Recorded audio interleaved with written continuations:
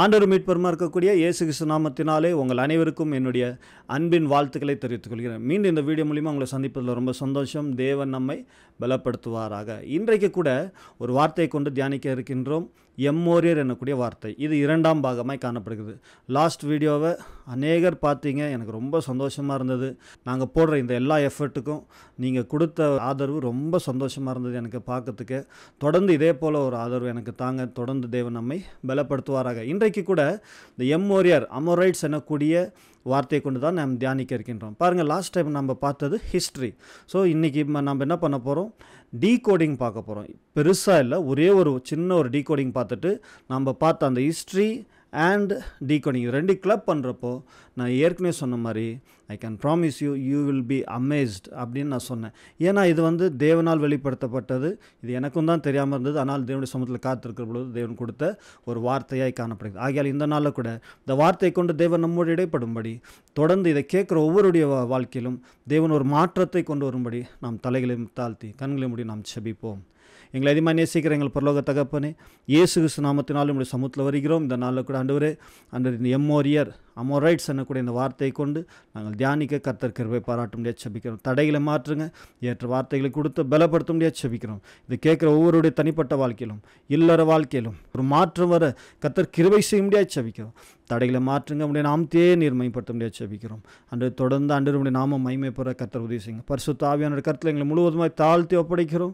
நீர் மகிமைப்படுகிறார் ஆஸ்வதியும் பலப்படுத்தும். ஏசுனா ஜபிக்கிறோம். எங்கேயும் நல்ல பிதாவே. இன்றைக்கு அமோரைட்ஸ் எம்மோரியர் எனக்கூடிய ஒரு வார்த்தை கொண்டு நாம் தியானிக்க இருக்கின்றோம். பாருங்கள் இதில் என்ன ஒரு விசேஷம் அப்படின்னாக்க ஹிஸ்ட்ரி அண்ட் டீகோடிங் ரெண்டையும் கிளப் பண்ண போகிறோம்னு சொல்லிட்டேன். முதலாவது என்னன்னாக்க அமோரைட்ஸ் எம்மோரியர் எனக்கூடிய இந்த வார்த்தைக்கு எபிரே மொழியில் கொடுத்துருக்கிற வார்த்தை என்னென்னா அமோரி எனக்கூடிய ஒரு வார்த்தை.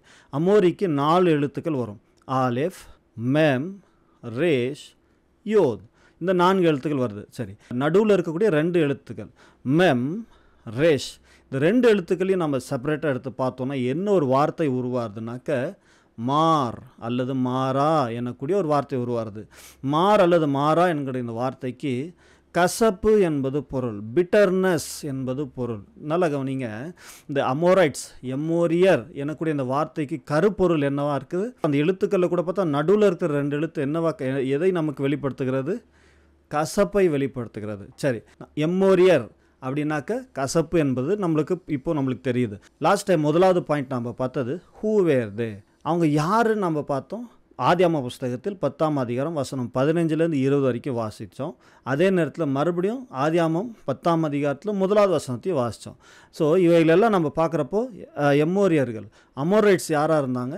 கானானுடைய வம்சத்துலேருந்து வந்தாங்க. ஆனாலும் பத்தாம் அதிகாரத்தில் முதலாம் வசனம் சொல்கிறது நீதிமானாகிய நோவாவுடைய வம்ச வரலாறு என்று நாம் பார்க்கிறோம். பாருங்கள் தேவனுடைய கண்களில் கிருபை பெற்ற மனிதன் தான் இந்த நோவாவாய் காணப்படுகிறார் என்று நாம் பார்க்கிறோம். நல்ல கவனிங்க இன்றைக்கு நம்முடைய நாட்களில் நீங்கள் அநேகர் சொல்கிறதை கேள்விப்பட்டிருக்கலாம் நானும் கேள்விப்பட்டிருக்கேன். என்ன சொல்லுவாங்கன்னா எங்களுடைய தகப்பன் அவ்வளவாய் ஊழியத்தை செய்தார். தேவனுடைய வல்லமையெல்லாம் நிரப்பப்பட்டவர்களாக பிசாசுகளை துரத்துவதும் இந்த சுகமளிக்கிற ஊழியத்திலும் பெரிய பெரிய ஊழியங்களெல்லாம் செய்தார். அநேக இடத்துல சபைகளை நிறுவினார் என்று அநேகர் சாட்சி சொல்கிறத நம்ம கேட்குறோம். இன்னொரு சிலர் சொல்லணும் என்ன சொல்லுவாங்கன்னா என்னுடைய தாத்தா அவர்கள் இன்னும் அதிகமான ஊழியங்களை செய்தார். அவருடைய ஊழியங்களை பார்க்குறப்போ திரளான ஜனங்க வருவாங்க. அநேகர் என்ன பண்ணுவாங்க வந்து கூட்டத்தில் கலந்துப்பாங்க. அவரால் அநேக ஜனங்க ரசிக்கப்பட்டாங்க இன்னும் ஒரு சிலர் என்ன சொல்லுவாங்கன்னா அநேக கிராமங்கள் தோறும் என்னுடைய தகப்பனும் என்னுடைய முன்னோர்களெல்லாம் போய் ஊழியம் செய்து தேவனுடைய நாமத்தை மைமைப்படுத்தியிருக்காங்க அவர்களால் தான் இன்றைக்கி அநேக இடத்துல சபைகள் நிறுவப்பட்டிருக்கிறது. இன்றைக்கி தேவனுடைய ஊழியங்கள் அநேக இடத்துல நடக்குதுன்னா அதுக்கு என்னுடைய தாத்தா தான் காரணம் என்னுடைய தகப்பன் தான் காரணம் அநேகர் சொல்லுவாங்க. ஸோ அதனால என்ன ஒரு கன்க்ளூஷன் நம்ம வர முடியும்னா அவங்க ஒரு நீதிமானுடைய வம்சத்துலேருந்து வந்தாங்க. அப்படிங்கிறது நம்மளால் கண்டுபிடிக்க முடியுது. ஆனால் இங்கே என்ன ஒரு விசேஷம்னா நோவாவுடைய வம்சத்துலேருந்து உருவான ஒரு கூட்டம் தான் எம்மோரியர்கள் ஆவார்கள் அமோரைட்ஸ் ஆவார்கள். ஈவன் அவங்க வந்து டைரெக்டாக தேவர் நாட் கனெக்டட் ஆனாலும் வம்ச வரலாறுன்னு நம்ம பார்த்தோன்னா அது நோவாவுடைய வம்சத்துலேருந்து வருது. இதனால என்ன சொல்ல வரேன்னா ஒருவேளை நாம் நீதிமானுடைய வம்சத்துலேருந்து வந்தாலும் எம்மோரியர் அமோரைட்ஸ் என்கிற இந்த வார்த்தைக்குள்ளே இருக்கிற கருப்பொருள் கசப்பு என்பது பார்க்குறோம். நான் நீதிமானுடைய வம்சத்துலேருந்து வந்திருக்கேன். என்னுடைய முன்னோர்களெல்லாம் ஊழியம் செய்தவர்கள் மகிமையாய் ஊழியம் செய்தவர்கள் என்று சொல்லக்கூடிய அநேகருடைய வாழ்க்கையில் ஏன் இதை வீடியோவை பார்த்துக்கிட்டு இருக்கிற அநேகருடைய வாழ்க்கையில் என்ன இருக்குது இன்றைக்கி கசப்பு காணப்படுகிறது. ஒரு தனிப்பட்ட மனிதன் மீது ஒரு குடும்பத்தார் மீது ஒரு ஊழியக்காரன் மீது ஒரு சபை மீது நம்மளுடைய என்ன காணப்படுகிறது. கசப்பை வைத்துக்கொண்டு நாம் இந்த நாட்களில் வாழ்ந்து கொண்டுகிறோம் கசப்புக்கு நாம் இடம் கொடுத்து கொண்டு வாழ்ந்து கொண்டே தான் இருக்கிறோம். அநேகருடைய வாழ்க்கையில் இன்றைக்கி அதுதான் காணப்படுது. ஆகையால் மிகுந்த எச்சரிக்கையோடு நாம் இருக்கணும். ஒருவேளை நம்முடைய வாழ்க்கையில் பரிசுத்தவான்கள் இரு காணப்பட்டாலும் ஒருவேளை ஏன் நாம்ளே ஒருவேளை பரிசுத்தவான்களாய் காணப்பட்டாலும் நம்முடைய வாழ்க்கையில் கசப்புக்கு இடம் கொடுக்கிற ஜனங்களாய் மாறிவிடக்கூடாது என்பது தான் இந்த வீடியோவோட ஒரு முக்கியமான ஒரு குறிக்கோளாய் காணப்படுகிறது. வேறு எந்த ஒரு காரியமும் இல்லை கசப்பை நாம் விதைக்கிறவர்களாகவும் கசப்புக்கு நம்முடைய வாழ்க்கையில் இடம் கொடுக்கிறவர்களாய் காணப்படுகிறோம். நீதிமான் என்று சொல்லக்கூடியவர்கள் நீதிமானுடைய வம்சத்தில் நான் வந்திருக்கேன் அப்படின்னு சொல்லக்கூடியவர்கள் இன்றைக்கும் அவங்க வாழ்க்கையில் கசப்பை காணப்படுகிறது. ஆகிய எச்சரிப்போடு நாம் காணப்படுவோம். இப்போ நம்ம எதை பார்த்து முடித்தோம் முதல் பாயிண்ட் ஹூ வேர் தே அவங்க யாராக இருந்தாங்க? நீதிமானுடைய வம்சத்துலேருந்து வந்தாங்கன்னு பார்க்குறோம். ஆனால் இன்றைக்கு நீதிமானுடைய வம்சத்துலேருந்து வந் வருகிறோம். எங்களுடைய த முன்னோர்கள் நீதிமான் என்று சொல்லக்கூடியவர்கள் மத்தியிலும் என்ன காணப்படுகிறது? கசப்பு காணப்படுகிறது. ஜாக்கிரதையோடு இருக்கணும். கசப்புக்கு இடம் கொடுக்காம இருங்க. ஒருவேளை நம்முடைய நம்மளுடைய பாஸ்ட்டை நாம் ஒருவேளை ரொம்ப பெருமையாக பேசினாலும் சந்தோஷமாய் பேசினாலும் இல்லை எந்த விதத்தில் பேசினாலும் இன்றைக்கு நம்முடைய வாழ்க்கையில் கசப்பே இருக்குமே ஆனால் நாமும் எம்முறையர்களை போல மாறுவோம். ஜாக்கிரதையாக இருங்க. இன்னும் பின்னாடி வரப்போகிற காரியங்களாக இன்னும் உங்களுக்கு ஆச்சரியமூட்டமாய் காணப்படுகிறது. நான் நம்புகிறேன் இதுவே அநேகருக்கு ஒரு ஆச்சரியத்தை ஏற்படுத்தியிருக்கோம். ஆகியால் கவனத்தோடு இந்த வீடியோவை பார்க்க முடியாது பட்சமாய் கேட்டுக்கொள்கிறேன். அடுத்தது second point what were they first who were தேன்னு பார்த்தோம். இப்போ வாட் வேர் தே அவங்க எப்பேற்பட்ட மனிதர்களை காணப்பட்டாங்க? They were pretty strong conquerors at the same time they can battle hard அவங்க வலுவானவர்களும் மேற்கொள்ளக்கூடியவர்களும் அதாவது கைப்பற்றக்கூடியவர்களும் அதே நேரத்தில் கடினமாக யுத்தம் செய்யக்கூடிய மனிதர்களாய் காணப்பட்டாங்க. எம்மோரியர்களுடைய குணாதிசயம் இது. அமோரைட்ஸோடைய உள்ளே இருக்கக்கூடிய காரியங்கள். நம்ம ஏற்கனவே இந்த டீகோடிங்கில் பார்த்தது என்ன? எம்மோரியர்கள் என்றால் கசப்பு அமோரைட்ஸ் என்றால் பிட்டர்னஸ் என்று நாம் பார்க்குறோம். தேவர் பிரிட்டி ஸ்ட்ராங் வலுவானவர்களும் அப்படின்னு சொல்லி பிரிட்டி ஸ்ட்ராங்னா ஏற்கனவே சொன்ன மாதிரி பலசாலிகளாய் காணப்பட்டாங்க. எப்பேற்பட்ட பலசாலிகள் என்று நாம் பார்த்தோம்? கருவாலி மரத்தை போல பலசாலிகள் என்று நாம் பார்த்தோம். ஆமோஸ் தீர்க்க புஸ்தகத்தில் இரண்டாம் அதிகாரம் ஒன்பதாம் வசனத்தில் சொல்லப்பட்டிருக்கு. கவனிங்க கருவாலி மரத்தை போல பலசாலிகளாய் காணப்பட்டாங்க. அப்படின்னாக்க கருவாலி மரம் பலசாலி. இது ரெண்டையும் நம்ம ஒப்பிட்டு பார்த்தோம். எப்படி பார்த்தோம்? கருவாலி மரத்துக்கு டென்ஸாக இருக்கும்னு சொன்னேன். டென்ஸ்னால் அடர்த்தி என்பது பொருள். அதாவது ஒரு லேயர் மேலே இன்னொரு லேயர் இன்னொரு லேயர் மேலே இன்னொரு லேயர் பட்டை பட்டையாக இருக்கும் அந்த மரம். அது உள்ளே அப்படி வந்து வந்து வந்து வந்து வந்து அடர்த்தியாக இருக்கும். நல்ல நல்ல பெருசாக இருக்கும். அப்போ நல்லா கவனிங்க. இன்றைக்கு எம்மோரியல் என்றால் என்ன? கசப்பு. இன்றைக்கி கசப்பு எப்பேற்பட்ட பொருளாய் காணப்படுகிறது? பலசாலியாய் காணப்படுகிறது. நமக்குள்ளே அந்த கசப்பு வந்தோன்னே கசப்பு என்ன பண்ணும்? ஒரு தனிப்பட்ட மனிதன் மீது ஒரு குடும்பத்தார் மீது ஒரு சபை மீது ஒரு ஊழியக்காரன் மீது என்ன பண்ணும்? அந்த கசப்பு லேயர் மேலே லேயர் லேயர் மேலே லேயர் லேயர் மேலே லேயர் வச்சு அடர்த்தியாய் மாற்றிவிடும். நம்முடைய அந்த கசப்பு பலம் வாய்ந்த ஒரு பொருளாய் காணப்படுகிறது. அதுக்கு நிகராக வேறு எதுவுமே இல்லை. நம்ம அடுத்த பாயிண்ட் பார்க்குறப்போ உங்களுக்கு இன்னும் தெளிவாக புரியும். அந்த அளவுக்கு கசப்பு இன்னைக்கு ஒரு ஒரு தனிப்பட்ட மனிதனுடைய வாழ்க்கையில் செயல்படுகிறதாய் காணப்படுகிறது. ஜாக்கிரதையோடு நாம் காணப்படணும். ஏதோ ஒரு பலவீனமான ஒரு சின்ன ஒரு வீக்னஸ்ன்னு நினச்சிடாதீங்க. கசப்பு என்பது ஒரு சின்ன வீக்னஸ் நினைக்காதீங்க.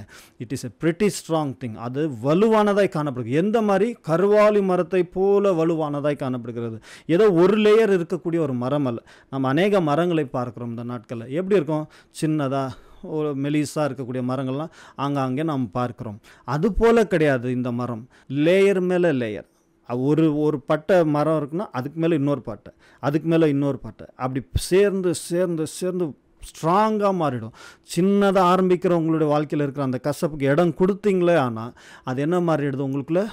அந்த மனுஷன் இப்படி பண்ணானே இவங்க இப்படி பண்ணாங்களே அவங்க அப்படி அது வந்து வந்து வந்து வந்து வந்து வந்து it will be pretty strong உங்களால் அது உடைக்கவே முடியாது. அந்தளவுக்கு அது பிரிட்டி ஸ்ட்ராங்காக மாறும் என்று நாம் பார்க்குறோம். ரெண்டாவது பாயிண்டில் முதலாவது ஏ என்ற பாயிண்டில் நம்ம என்ன பார்த்தோம்? பிரிட்டி ஸ்ட்ராங் கருவாலி மரத்தை போல வலுவானது இந்த கசப்பு. ஆகிய அந்த கசப்புக்கு இடம் கொடுக்காதீங்க. ஜாக்கிரதையோடு இருக்க முடியாது. நான் பட்சமாக கேட்டுக்கிறேன்.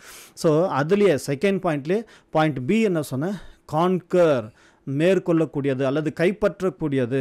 கசப்புக்கு உங்கள் வாழ்க்கையில் நீங்கள் இடம் கொடுத்தீங்கன்னா நீங்கள் நீதிமானுடைய வம்சத்தில் வந்திருந்தாலும் சரி இல்லை நீங்கள் இப்போ தான் ஆண்டுடைய வாழ்க்கை ஆரம்பிக்கிறவங்களா இருந்தாலும் சரி அது உங்களை மேற்கொள்கிறதாய் காணப்படுகிறது. ஒரு ஒரு ராஜா படபலத்தோடு போய் இன்னொரு தேசத்தை மேற்கொள்கிறானோ அதே போல தான் இந்த கசப்பு என்ன பண்ணும்? நம்மை மேற்கொண்டு நம்மை அடிமைப்படுத்தும். ராஜா போய் இன்னொரு தேசத்தில் இருக்கிற ஜனங்களெல்லாம் கூட்டின்னு வந்துட்டு அவங்களுடைய அரண்மனையிலேயே இடம் கொடுக்க போகிறாரு கிடையாது. அநேக ஜனங்களை அடிமைகளாய் மாற்றுகிறவர்களாய் காணப்படுகிறது தங்களுடைய வீட்டில் தங்களுடைய அரண்மனைகளில் வேலை செய்யும்படி வச்சிருவாங்க. நல்லா கவனிங்க. It is a pretty strong thing அது வலுவானதாக இருக்கிறபடினால உங்களை அதை மேற்கொள்கிறதாய் காணப்படுகிறது. அது உங்களை கான்கர் பண்ணுறது உங்களை கைப்பற்றுகிறதாய் காணப்படுகிறது. நீங்கள் தேவனால் பிடிக்கப்பட்ட தேவனுடைய ரத்தத்தால் கழுவப்பட்ட பிள்ளைகளாக இருக்கிறீங்க. சுதந்திரமான ஜனங்களாக இருக்கீங்க. ஆனால் உங்களை நீங்களே கசப்புக்கு ஒப்பு கொடுக்குற பொழுது அது உங்களை கைப்பற்றி உங்களை அடிமையாய் மாற்றும் அந்த கசப்புக்கு உங்களை அடிமையாய் மாற்றி விடுகிறது. ஆகிய ஜாக்கிரதையோடு இருக்க முடியாது. உங்களோடு நான் பட்சமாக கேட்டுக்கொள்கிறேன். மூன்றாவதாய் பார்க்கிறோம். பேட்டில் ஹார்ட் எம்மோரியர்கள் எப்பேற்பட்ட மனிதர்களை காணப்பட்டாங்க. கடினமாக யுத்தம் செய்யக்கூடிய ஜனங்க. கடைசி சொட்டு ரத்தம் இருக்கும் வரை கடைசி மூச்சு போகிற வரைக்கும் நான் யுத்தம் செய்வேன் அப்படிங்கிறவங்க தான் யார்? எம்மோரியல் என்று நாம் கடந்த வீடியோவில் பார்த்தோம். இன்றைக்கு சொல்லுகிறேன் கசப்பு உங்களுடைய வாழ்க்கையில் வந்துடுச்சுன்னா ஒருவேளை பல காரியங்கள் மறந்தாலும் பல காரியங்களை நீங்கள் ஒருவேளை மன்னிக்க ஆயத்தமானாலும் ஆனால் இந்த ஒரு விஷயத்தை நான் மன்னிக்க மாட்டேன் இந்த ஒரு விஷயத்தை நான் விட்டு கொடுக்க மாட்டேன் அப்படின்னு நீங்கள் வாயால் அறிக்கை செய்றீங்க பார்த்தீங்களா அது பிரியமானவர்களே அது உங்களுடைய வார்த்தை அல்ல. கசப்புனுடைய வார்த்தை காணப்படுகிறது. கடைசி மூச்சு இருக்கிற வரைக்கும் கடைசி சொட்டு ரத்தம் இருக்கிற வரைக்கும் போராடுகிற குணாதிசயம் உள்ளவர்கள் தான் எம்மோரியல் கசப்பும் அவ்விதமே செய்யும் கடைசி வரைக்கும் போராடும். உங்களை ஆண்டரோடு ஒப்புரவாகிறதுக்கு விடவே விடாது அது. போராடி போராடி போராடி. ஏன்னா அது உங்களை மேற்கொண்டாச்சு. உங்களை கைப்பற்றியாச்சு. கைப்பற்றினது ஏதோ ஒரு பலவீனமானது கிடையாது. வலுவானது. கருவாளி மரத்தை போல கசப்பு வலுவானதும் உங்களை மேற்கொண்டதுமாய் காணப்படுகிறதுனால அது என்ன செய்கிறது? கடைசி சொட்டு போராட்டம் கடைசி மூச்சு இருக்கிற வரைக்கும் போராடுகிறேன்னு சொல்கிறது போல் உங்களுடைய கடைசி ஒரு விஷயத்து வரைக்கும் அது என்ன பண்ணும்? கசப்பு. உங்களை விடவே விடாது. போராடிக்கிட்டே இருக்கும் உங்கள் இதயத்தில் அது. போராடி போராடி போராடி உங்களை அது அடிமையாக்கி விடும் ஜாக்கிரதையாக இருக்குங்க. மீண்டும் மீண்டும் இந்த மாதிரி வார்த்தைகள் உங்களை தேடி வராது. மீண்டும் மீண்டும் இந்த மாதிரி ஆண்டுடைய வார்த்தைகள் உங்களை தேடி வராது. வருகிற பொழுதே உங்களுக்குள்ளே ஒருவேளை கசப்பு இருக்குமானால் அதை தயவு செய்து விட்டுவிடும்படியாக விட்டு விடும்படியாக உங்களை ஒரு ஒரு சகோதரனாக ஒரு ஊழியக்காரனாக பட்சமாய் கேட்டுக்கொள்கிறேன். ஸோ செகண்ட் பாயிண்ட் பார்த்து நம்ம இப்போ முடிச்சிட்டோம். ஃபர்ஸ்ட் பாயிண்ட் வந்து ஹூ வேர்தே அவங்க ஒரு நீதிமானுடைய வம்சத்தார். இன்றைக்கும் நாம் நீதிமானுடைய வம்சத்துலேருந்து வந்திருந்தாலும் இல்லை ஒருவேளை இன்றைக்கி தான் ரசிக்கப்பட்டு வந்திருந்தாலும் கசப்புக்கு இடம் கொடுத்தோன்னா நம்முடைய வாழ்க்கை முடிந்தது என்று பார்க்கிறோம். ரெண்டாவது பாயிண்ட் பார்த்தோம். வாட் வேர் தே எப்பேற்பட்ட மனிதர்கள்? Pretty strong conquerors battle hard கசப்பு வலுவானது. கருவாலி மரத்தை போல வலுவானது. அதே நேரத்தில் அது என்ன செய்யும்? நம்மை ஆட்கொள்ளும் மேற்கொள்ளும் நம்மை அடிமையாய் மாற்றும் மூன்றாவது விட்டு கொடுக்க முடியாத அளவுக்கு கடைசி மூச்சு கடைசி சொட்டு ரத்தம் இருக்கிற வரைக்கும் போராடக்கூடிய ஒரு பொருள் தான் கசப்பு என்பதை நீங்கள் மறந்துடா ஓகே இப்போது third point what kind of people வேர்தேன்னு பார்த்தோம். அவங்க எப்பேற்பட்ட மனிதர்களாக இருந்தாங்க? ஃபியர்ஸ் அப்படின்னு பார்த்தோம். அண்ட் ஸ்ட்ராங்கஸ்ட் ஆஃப் ஆல் கேனனைட்ஸ்ன்னு பார்த்தோம். ஃபியர்ஸ் என்றால் வெறித்தனமானவர்கள். ஸ்ட்ராங்கஸ்ட் ஆஃப் ஆல் கேனனைட்ஸ்னால் கானானியர்கள் இருந்த சகல ஜாதியார்களை காட்டிலும் இவங்க எப்பேற்பட்ட மனிதர்களாக இருந்தாங்க நம்ம பார்த்தோம். வலுவானவர்களாய் காணப்பட்டார்கள் என்று பார்க்குறோம். சரி முதலாவது இந்த ஃபியர்ஸுங்கிறது என்னென்னு பார்க்கலாம். ஃபியர்ஸ் என்றால் வெறித்தனமானவர்கள். லாஸ்ட் வீடியோவில் பார்த்தது போல் ஒரு யுத்தத்துக்குன்னு போனால் அதுக்குன்னு ஒரு நெ- ஒரு நெறி உண்டு. அது யுத்த நெறின்னு ஒன்று இருக்குது எத்திக்ஸ்னு ஒன்று இருக்குது எல்லா மாதங்கள்லையும் எல்லா நேரங்கள்லையும் போய் யுத்தம் பண்ணிக்கிட்டு இருக்க மாட்டாங்க. அதுக்குன்னு சில காலங்கள் நேரங்கள் வச்சுக்கிட்டு போய் யுத்தம் செய்யக்கூடிய நாட்கள்லாம் இருந்தது. ஆனால் இந்த வெறித்தனமானவர்களுக்குனா அவங்களுக்கு எந்த ஒரு ஒழுக்கமும் இருக்காது. எந்த ஒரு நெறியும் இருக்காது. எந்த ஒரு எத்திக்ஸுமே இருக்காது. வெறித்தனமாக சண்டைன்னு வந்துருச்சுன்னா வெறித்தனமாக போராடுவாங்க. ஐயோ நம்ம இப்பேற்பட்ட ஏதாச்சும் அப்படிலாம் யோசிக்கவே மாட்டாங்க. அந்த வெறியோடு அவங்க போய் சண்டை போடுற மனிதர்களை பார்க்கிறோம். நீதிமானுடைய வம்சத்தில் வந்தவர்கள் என்று சொல்லக்கூடிய ஒரு மனிதர்களையும் பார்க்குறோம். இன்றைக்கு தான் ரசிக்கப்பட்டாங்க கொஞ்ச நாளுக்கு முன்னாடி தான் ரசிக்கப்பட்டாங்க அப்படின்னு பார்த்தாலும் அவங்களும் அந்த மாதிரி யுத்தம் செய்வாங்க. ஏன் அப்படின்னா கசப்புக்கு இடம் கொடுத்ததுனால அந்த கசப்பு எப்பேற்பட்ட காரியத்தை செய்ய வைக்கிறது? வெறித்தனமாய் அந்த மனிதர்களை மாற்றி விடுகிறது வெறித்தனமாய் மாற்றி விடுகிறது உங்களுக்குள்ளே இருக்கிற கசப்பு வெறித்தனமாய் உங்களோடய யுத்தம் செய்யும் அது மற்றவர்களோடும் யுத்தம் செய்யும். அவங்க கசப்பு இருக்கிற மனிதர்கள் பேசுகிறத பார்த்தா அப்படி ஒரு வெறித்தனமாக பேசுவாங்க. அவங்கள வந்து சமாதானமே பண்ண முடியாது. அந்த அளவுக்கு அவங்க கோபத்தோடும் வெறியோடும் ஒரு கசப்போடும் ஒரு பகையோடும் அவங்க என்ன பண்ணுவாங்க? பேசிக்கிட்டே இருப்பாங்க. ஏன் இப்பேற்பட்ட மனிதர்கள் கிடையாது இவங்க? ஏன் இப்படி மாறிட்டாங்க? அப்படின்னு ஜனங்க சொல்கிறத நம்ம கேட்டிருக்கு ஏன் அப்படின்னா இன்றைக்கு சொல்கிறேன் கசப்புக்கு அவங்க வாழ்க்கையில் இடம் கொடுத்ததுனால. ஒரு ஒரு ரெண்டு மாதத்துக்கு முன்னாடி பார்த்தேன் பாஸ்டர். அப்படி இருக்கலையே அவர். ஒரு ரெண்டு நாளைக்கு முன்னாடி தான் பார்த்தேன் பிரதர். அவங்க அப்படி இருக்கல. என்னன்னு தெரியல. திடீர்னு இப்படி ஒரு வெறித்தனமாக அவங்க நடந்துக்கிறாங்க. ஏன்னா கசப்பு உள்ளே வேலை செய்யுது. இதுதான் உண்மை. இதுதான் உண்மை. கசப்பு அவங்க உள்ள இதயத்தில் வேலை செய்யுது. கசப்புக்கு அவங்க இடம் கொடுத்ததுனால வெறித்தனமானவர்களை மாறிவிட்டாங்கன்னு நம்ம பார்க்குறோம். அதுதான் ஃபியர்ஸ் மூணாவது பாயிண்டில் முதல் ஏ அப்படின்னு நம்ம பாயிண்ட் எடுத்துக்கிட்டோம்னா அதில் வந்து ஃபியர்ஸ் வெறித்தனமானவர்கள். அடுத்தது ஸ்ட்ராங்கஸ்ட் ஆஃப் ஆல் கேனனைட்ஸ்னு பார்த்தோம். அந்த கேனனைட்ஸில் யார் யாருடைய பேர்களை நான் சொல்லியிருந்தேன்? ஞாபகம் இருக்கா? மறுபடியும் சொல்கிறேன் கவனிங்க.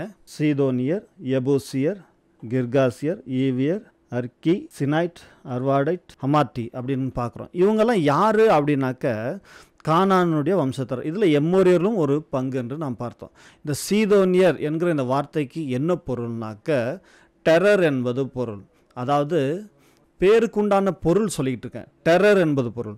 திகில் என்பது பொருள். டெரர் என்றால் திகில். பயத்துக்கும் திகிலுக்கும் இருக்கிற வித்தியாசம் நம்ம முதலாவது பார்க்கலாம். சீதோனியர் என்றால் என்ன? திகில் என்பது பொருள். பயம் என்றால் ஒருவேளை நாம் நடக்கிற பாதையில் ஒரு பாம்பையோ அல்லது ஒரு நாயையோ அல்லது இந்த சில மிருகங்களை பார்க்குறப்ப நம்ம என்ன பண்ணுவோம்? பயப்படுவோம். ஐயோ பயமாக இருக்குது அப்படின்னு சொல்கிறோம் இல்லைங்களா? அதுதான் பயம். ஒரு பொருளை பார்த்து அதுக்குண்டான ஒரு ரியாக்ஷன் வருது பார்த்தீங்களா? ஒரு அதுதான் பயம். ஆனால் இந்த திகில் என்பது என்னென்னா க நடு காட்டில் நம்மளை விட்டுட்டாங்கன்னு வச்சுக்கோங்களேன். நம்மளுடைய ஒரு ஒரு ஸ்டெப்பையும் பார்த்து பார்த்து தான் வைப்போம். எங்கே பாம்பு இருக்குமோ எங்கே பள்ளம் இருக்குமோ எங்கே எந்த பூச்சி வந்து கடிக்குமோ என்னவோ ஏதோன்னு காணப்படாத ஒரு பொருளுக்காக ஒரு பயம் உருவாருது பார்த்தீங்களா? அதுக்கு பேர் தான் திகில். காண்கிற ஒரு விஷயத்தை பார்த்து நம்ம நடுங்கணும்னா அது பயம். திகில் என்பது காணப்படாத ஒரு பொருளுக்கு உண்டான ஒரு செயலாய் காணப்படுகிறது. நிறைய நிறைய பேருக்கு இன்றைக்கு திகில் என்பது தான் அதி- அதிகமாய் காணப்படுது. ஐயோ இப்படி ஆகிடுவோமோ ஐயோ அப்படி ஆகிடுமோ ஐயோ இவங்க ஒருவேளை இந்த மாதிரி ஒரு மந்திரம் செஞ்சுருப்பாங்களோ? இல்லை இவங்க நம்முடைய வாழ்க்கையில் இப்படி செஞ்சுட்டோம் அப்படிங்கிற பயம் எதிர்காலத்துக்கு உண்டான பயம் காணப்படாத ஒரு பொருளுக்கு உண்டான ஒரு பயம் இதுதான் திகிலாய் மாறுகிறது. இந்த திகில்னால் ஒருவேளை நீங்கள் பாதிக்கப்பட்டிருந்தாலும் இந்த திகிலை விட மோசமானது தான் எம்மோரியர் ஆவார். அதாவது கசப்பு இந்த திகிலை காட்டிலும் ஒருவேளை பயத்தை கா பயம் இருந்தாலும் சரி இல்லை இந்த திகில் இருந்தாலும் சரி இதை காட்டிலும் வலுவானதும் மேற்கொள்ளக்கூடியதும் அதே நேரத்தில் கடினமாக யுத்தம் செய்யக்கூடியது தான் இந்த கசப்பாய் காணப்படுது ஏன்னா Amorites were strongest of all Canaanites முதலாவது சீதன் அதுவே திகில் தான். இன்னைக்கு திகில்னால பாதிக்கப்பட்டவங்களே அநேகர் இருக்காங்க. ஆனால் அதை காட்டிலும் பலம் வாய்ந்தது தான் கசப்பு என்று பார்க்கிறோம். ரெண்டாவதாய் பார்க்கிறோம் எபூசியர். இந்த எபூசியர் என்கிற இந்த வார்த்தைக்கு என்ன பொருள் அப்படின்னா நான் சின்ன ஒரு ஒரு காரியத்தை சொல்லித்தரேன் கவனிங்க. இந்த எபூசியர் இருந்த இடங்கள்லாம் திராட்சை பழங்கள் அதிகமாய் காணப்பட்ட ஒரு இடமாய் காணப்படுகிறது. அவங்க என்ன பண்ணுவாங்கன்னா ஒரு நாலடி இல்லை ஒரு மூணு அடிக்கு உயரமாக ஒரு தொட்டியை கட்டுவாங்க. இன்றைக்கி அநேகருடைய சபையில் என்ன காணப்படுகிறது? ஒரு ஞானஸ்தான தொட்டி என்கிறது இருக்குது இல்லைங்களா? அதை நீங்கள் உதாரணமாக வச்சுக்கோங்க. அது என்ன பண்ணுவாங்கன்னா கீழே தண்ணி யூஸ் பண்ணிவிட்டு தண்ணி அவுட் பண்ணுறதுக்கு என்ன பண்ணுவாங்க? கீழே அடியில் பார்த்தீங்கன்னா ஒரு சின்னதாக ஒரு ஹோல்ஸ் இருக்கும்.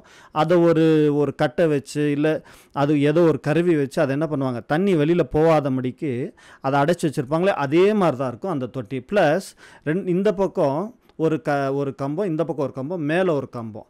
அதுலேருந்து ஒரு கயர் கீழே தொங்கும். திராட்சை தோட்டத்தில் வேலை செய்கிறவங்களாம் என்ன பண்ணுவாங்கன்னா அந்த தோட்டத்தில் இருக்கிற அந்த க திராட்சைங்களை பறித்து கொண்டு வந்து இந்த தொட்டியில் போடுவாங்க.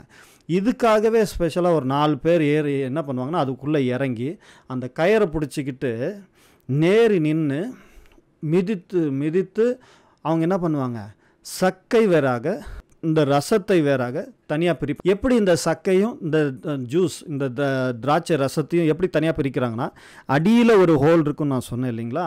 அந்த ஹோலை என்ன பண்ணுவாங்க? ஓப்பன் பண்ணிவிடுவாங்க ஓப்பன் பண்ணால் இந்த சக்கைகள் நிரம்பி இருக்கிறதுனால சக்கை வெளியில் வராது. ஜூஸ் வண்டி கொஞ்சம் கொஞ்சமாக வெளியில் வந்துக்கிட்டே இருக்கும். வர வர வர வர ஜூஸை வண்டி கலெக்ட் பண்ணிவிட்டு இந்த சக்கையை அப்படியே தூக்கி போட்டுருவாங்க. நல்லா கவனிங்க. இன்றைக்கி அநேகருடைய வாழ்க்கையில் முதலாவது திகில் காணப்படுகிறது. ரெண்டாவது எப்படி ஏற்பட்ட காரியமாக இருக்குன்னா உங்களை யூஸ் அண்ட் த்ரோ பண்ணக்கூடிய காரியங்கள் காணப்படுது. இன்றைக்கி அநேகர் என்ன சாட்சி சொல்கிறாங்கன்னா என்னை எவ்வளோ யூஸ் பண்ண முடியுமோ யூஸ் பண்ணிவிட்டு என்னை தூக்கி போட்டாங்க பாஸ்டர் அண்ணா அண்ணா என்னை ரொம்ப பேர் தூக்கி போட்டாங்க பிரதர் தூக்கி போட்டாங்க என்ன? அப்படின்னு சொல்கிறீங்க இல்லையா? அதை காட்டிலும் அதுவே ரொம்ப கொடூரமானது. நம்மள்ட்ட என்ன இருக்கோ அதை வச்சு அந்த இடத்துல உழைச்சிருப்போம். நம்மளை அப்படியே அசால்ட்டாக தூக்கி போட்டிருப்பாங்க. நல்லா கவனிங்க. அதை காட்டிலும் மோசமானது கசப்புக்கு நீங்கள் உங்கள் வாழ்க்கையில் இடம் கொடுத்தீங்கன்னா இது கவனமாக கேளுங்க. என்னை யூஸ் பண்ணாங்க. எவ்வளோ நான் உழைச்சேன். எவ்வளோ அவங்கள பார்த்துக்கிட்டேன் ஆனால் என்னை தூக்கி போட்டாங்க. துச்சமாக என்னை எண்ணிட்டாங்கன்னு கண்ணீரோடு சொல்லக்கூடிய அநேக ஆட்கள் உண்டு. ஆனால் அதை காட்டிலும் மோசமானது தான் இந்த கசப்பு. கசப்புக்கு உங்கள் உங்கள் உங்கள் வாழ்க்கையில் ஒரு வேளை இடம் கொடுத்தீங்கன்னா நீங்கள் அனுபவித்த இந்த ஒரு சூழ்நிலையை காட்டிலும் கசப்பு அதை விட மோசமானது உங்கள் வாழ்க்கையில் நீங்கள் இடம் கொடுத்துட்டீங்கன்னா ஆகியால் கவனத்தோடு இருப்போம். வாட் கைண்ட் ஆஃப் பீப்புள் வருதே அப்படிங்கிறதுல நம்ம பார்த்துக்கிட்டு இருக்கோம். உங்களை யூஸ் பண்ணி தூக்கி போட்டாலும் அதில் வர வழியை காட்டிலும் கசப்புக்கு இடம் கொடுத்தீங்கன்னா அதை விட மோசமான ஒரு வழி உங்களோட வாழ்க்கையில் வரும். ஜாக்கிரதைகளாக இருக்கும்படி பட்சமாக கேட்டுக்கொள்கிறேன்.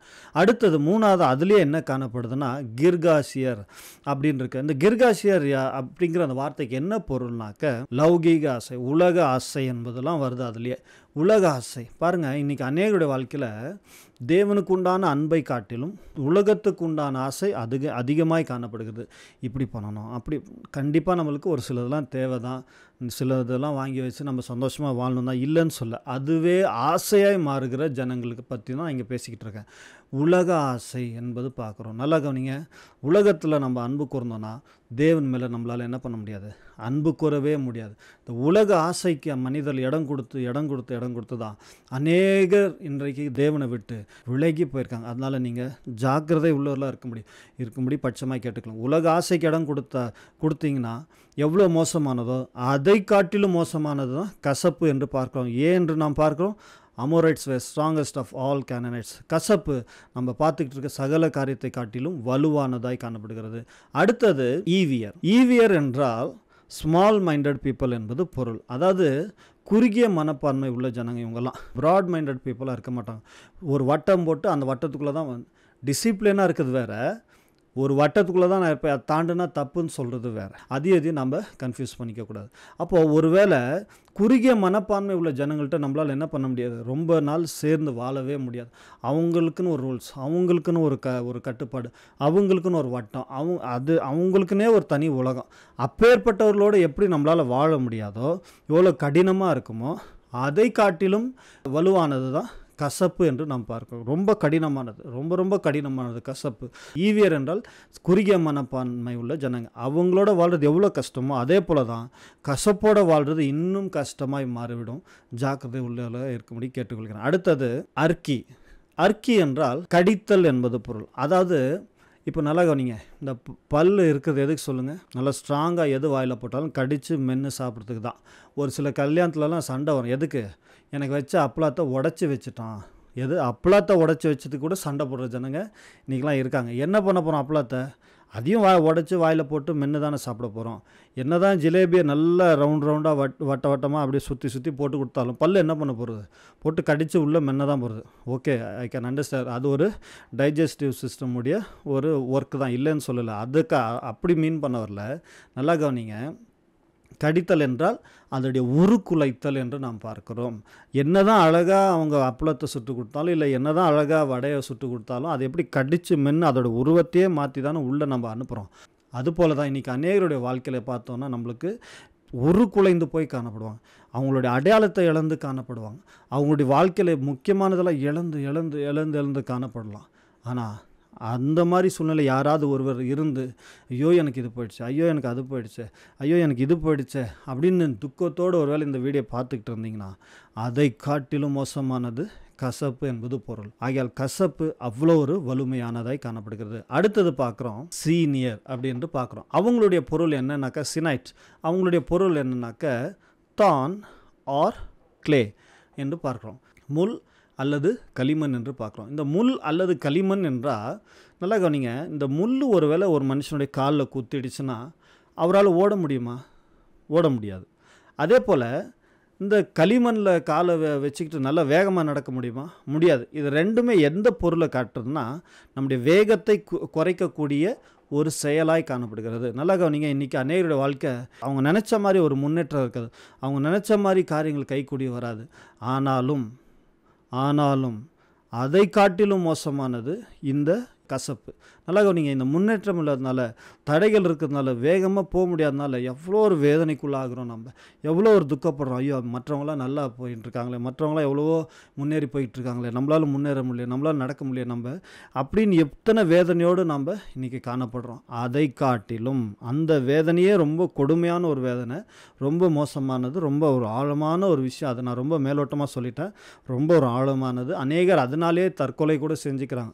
அவங்க வாழ்க்கை முடிஞ்சு போச்சுன்னு நினச்சி அவங்க வாழ்க்கை வாழ்க்கையை கூட முடிச்சுக்கிறவங்களாம் இருக்காங்க. இந்த மாதிரி அந்த சினாய்ட்டுடைய ஸ்பிரிட்ஸ் அந்த ஒரு அசுத்தாவிகளுடைய கிரியைகள் தான். ஏன் நான் ஒரு முன்னேற்றம் இல்லை. முடிஞ்சது அவ்வளோதான் எல்லாம் முன்னேறிட்டாங்க. நான் தான் இப்படி இருக்கிறேன். எதுலேயும் எனக்கு ஒரு நிம்மதி இல்லைன்ட்டு எல்லாத்தையும் நான் இன்றைக்கி இழந்துட்டேன்னு சொல்லி தன்னோட வாழ்க்கையை முடிச்சுக்கிறாங்க. இது ரொம்ப ஒரு மோசமான ஒரு ஆவியினுடைய செயல். இன்றைக்கி அதை தான் பார்த்துக்கிட்டோம். ஒருவேளை அப்பேற்பட்ட ஒரு காரியத்தில் நீங்கள் இருந்தாலும் இன்றைக்கு நீங்கள் பார்க்குறது அதை விட மோசமானது தான் கசப்பு என்று நான் குறிப்பிடுகிறேன். இன்றைக்கு அநேகருடைய வாழ்க்கையை அவங்க முடிச்சுக்கிறதுக்கு ஒரு முக்கியமான காரணம் சினைட் டான் க்ளே முள் அல்லது களிமண் என்கிற காரியங்களை பார்க்குறோம் இல்லைங்களா? ஒருவேளை வாழ்க்கையே முடிச்சுக்கலாம்னு நினச்சிக்கிற நீங்கள் போராட்டத்தில் இருந்தாலும் அவைகளை காட்டிலும் மோசமானது தான் இந்த கசப்பு என்று நாம் பார்க்கலாம் ஏன்னா அது அதை விட மோசமான ஒரு செயலாய் காணப்படுகிறது. அடுத்தது அர்வாடைட் அர்வாதியர் என்று நாம் பார்க்கிறோம். இந்த வார்த்தைக்கு என்ன பொருள் அப்படின்னாக்க not to be under his hand அப்படின்றது. அதாவது என்னென்னா இவங்க ஒருத்தர்கிட்ட அடங்கியே இருக்க மாட்டாங்க. யாரோடையும் அடங்கி போக மாட்டாங்க. யாருக்கு கீழே இவங்க வணங்கியெல்லாம் இருக்க மாட்டாங்க. இன்றைக்கு ஒரு சில நாட்களுக்கு முன்பதாக ஒரு சில வருஷங்களுக்கு முன்பதாக எங்களுடைய சீனியர் பாஸ்டர்ஸ்லாம் எங்களுக்கு என்ன சொல்லி கொடுத்தாங்கன்னா நீங்கள் ஒரு ஊழியக்காரன் கீழே சில ஆண்டுகள் நீங்கள் ஊழியம் செய்யணும். அப்படி இருந்தால் தான் நல்லது அப்படிம்பாங்க. அதனால ஒரு சிலர் என்ன பண்ணுவாங்க பைபிள் காலேஜ் போய் படித்து அங்கேயே ஊழியங்களை செஞ்செல்லாம் இருப்பாங்க. இன்னும் ஒரு சிலர் இன்னொரு பாஸ்டர்கிட்ட பல ஆண்டுகளாக இருந்து அப்புறமா ஊழியங்களை ஆரம்பிப்பாங்க. இப்படிலாம் காணப்பட்டது. இன்றைக்கி அப்பேற்பட்ட காரியங்களாக இருக்கிறதுல ஓகே அது நம்மளுடைய டாப்பிக்கில் இல்லை. ஆனாலும் இப்படி அடங்கி போகிறது என்பது கிடையாது. ஒரு ஊழியக்காரன் கீழே ஒரு தகப்பன் தாய் கீழே ஒரு லீடர்ஷிப்புக்கு கீழே இவங்க வரவே மாட்டாங்க. இந்த மனிதர்கள். யார் இந்த மனிதர்கள்? அர்வாதியர் என்று பார்க்கிறோம். இந்த அர்வாதியர் இல்லது இந்த அர்வாடைட் இவங்களாம் என்ன பண்ண மாட்டாங்க? அடங்கியே போக மாட்டாங்க. அது போல தான் இன்றைக்கு அநேருடைய வாழ்க்கையும் என்ன பண்ணுறாங்க யார்ட்டையும் நான் அடங்கி போக மாட்டேன். ஆண்டர் என் கூட இருக்கிறார் அது போதும். ஆண்டர் என் பட்சத்தில் இருக்கார் அது போதும்னு பேசுகிறவங்க இருக்காங்க இல்லையா? அதை காட்டிலும் மோசமானதான். என்னோட கருத்து இருக்கிற அப்படின்னு சில பேர் பெருமையாக மேட்டின்மையாக பேசுகிறாங்க பார்த்தீங்களா அந்த ஒரு பெருமையை காட்டிலும் அந்த ஒரு மேட்டின்மையை காட்டிலும் கசப்புக்கு உங்கள் வாழ்க்கையில் இடம் கொடுத்தீங்களே ஆனால் அது அதை விட மோசமாய் மாறிவிடும். ஜாக்கிரதை உள்ளெல்லாம் இருக்கும்படி பட்சமாய் கேட்டுக்கிறேன் காமாத்தியர் என்று ஒரு காரியம் உண்டு. ஹமாத்தி அப்படிம்பாங்க. ஹமாத்தி என்றால் தி வால் ஆர் ஃபோர்ட்ரஸ் அப்படிம்பாங்க. சுவர் அல்லது மதில் சுவர் என்பது பொருள். நல்லா கவனிங்க. ஏன்ஷியன் டேஸ் அவங்க என்ன பண்ணுவாங்கன்னா அவங்க ஊரை சுற்றி ஒரு பெரிய மதில் சுவர் எழுப்பியிருப்பாங்க. அதை தாண்டி போக முடியாது. ஏற்கனவே நான் ஒரு வீடியோவில் சொல்லியிருக்கேன். சில மதில் சுவர் மேலே ரதங்கள் ஓடக்கூடிய அளவுக்கு பெருசாக இருக்கும் அதெல்லாம். அவ்வளோ பெருசாக இருக்கும். நான் ஏற்கனவே உங்களுக்கு சொல்லி கொடுத்துருக்கேன். நெகேமியா வீடியோவில் நீங்கள் போய் பார்த்தீங்கன்னா தெரியும். நெகேமியா க அந்த மதில் சுவரை கட்டுக்கிற காரியங்களை பற்றி நம்ம பேசியிருப்போம். அதில் சொல்லியிருப்பேன் இந்த மதில் சுவர்கள் எப்படி இருக்குமா? ஒரு மதில் சுவர் மேலே ஒரு ர குதிரை ரதமே ஓடக்கூடிய அளவுக்கு பெருசாக இருக்கும் நம்ம பார்க்குறோம். அது போல் காரியங்கள் இருக்குது அப்போது இன்னொரு தேசம் இன்னொரு தேசத்தை கைப்பற்ற முடியாத அளவுக்கு இந்த மதில் சுவர் எப்படி தடுத்து நிற்குது அதுபோல் தேவன் நம்மோடு இடைப்பட முடியாத அளவுக்கு கசப்பு எதிர்த்து நிற்கும். ஆகையால் தான் Amorites were strongest of all Canaanites அதனால தான் நான் சொன்னேன் எம்மோரியர்கள் கானானியர்களை காட்டிலும். அவங்களோட இந்த இப்போ நம்ம சொன்ன இந்த சீதோனியர் எபூசியர் கிர்காசியர் இவங்கெல்லாம் யாருன்னு நினைக்கிறீங்க? எல்லாம் இந்த எம்மோரியர்களோட அண்ணன் தம்பிங்க தான். எல்லாம் கூட பிறந்தவங்க தான். இவங்களை காட்டிலும் எம்மோரியர் பலசாலியாய் காணப்பட்டான் என்று பார்க்கிறோம். அதுபோல தான் ஒருவேளை உங்களுடைய வாழ்க்கையில் ஒருவேளை உங்களுடைய திகில் இருக்கலாம் அல்லது உங்களை யூஸ் பண்ணி தூக்கி போட்டிருக்கலாம் அடுத்தது உலக ஆசை இருக்கலாம் இல்லைன்னா ஒருவேளை குறுகிய மனப்பான்மை உள்ள ஜனங்களாக இருக்கலாம் உங்களுக்கு உருக்குலைந்த ஒரு வாழ்க்கையாக இருக்கலாம் முன்னேற்றம் இல்லாத ஒரு வாழ்க்கையாக இருக்கலாம் அல்லது தாழ்ந்து ஒரு ஊழியக்காரன் கீழே ஒரு குடும்பத்தில் த அடங்கி இருக்கிற ஒரு காரியம் இல்லாத மனிதர்களாக இருக்கலாம். இல்லைன்னா ஒரு வால் ஒரு ஃபோர்ட்ரஸ் எப்படி இன்னொரு படை இன்னொரு படையை மேற்கொள்ள முடியாத அளவுக்கு இந்த மதில் சுவர் தடுத்து நிற்கிறதோ அதுபோல தான் மற்றவர்களை ஏற்றுக்கொள்ள முடியாத அளவுக்கு இந்த கசப்பு என்ன பண்ணும்?